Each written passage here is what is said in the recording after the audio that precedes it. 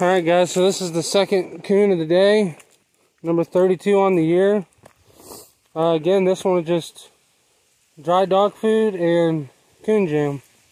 So we had on this one too. So